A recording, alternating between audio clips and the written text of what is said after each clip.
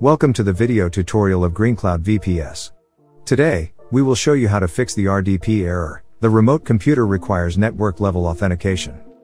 When you connect remotely using remote desktop to any Windows computer, this error appears even when network level authentication is enabled on the computer. To fix this problem, first of all, you must access your VPS through the console.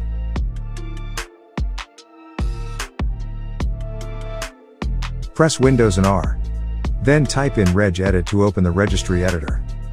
In the left side pane, navigate to HKEY local machine, system, control set 001, control, terminal server, win stations, RDP TCP.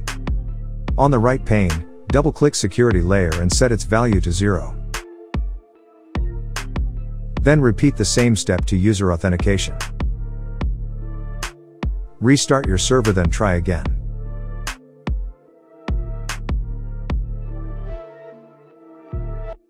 Press Win and R and then type in gpedit.msc to open the local group policy editor.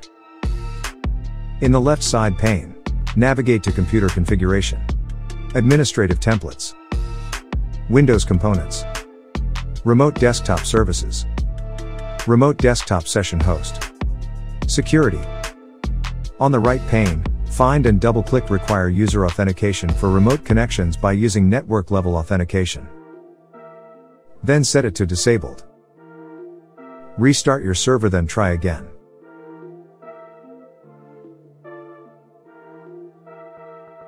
This way you would do it on your computer. Press Win and open the Run dialog box. Then type in sysdm.cpl and hit OK to open System Properties. Switch to the Remote tab and then uncheck Allow connections only from computers running remote desktop with network level authentication. Recommended. Click apply and OK. Hopefully this video will be useful for you. Good luck!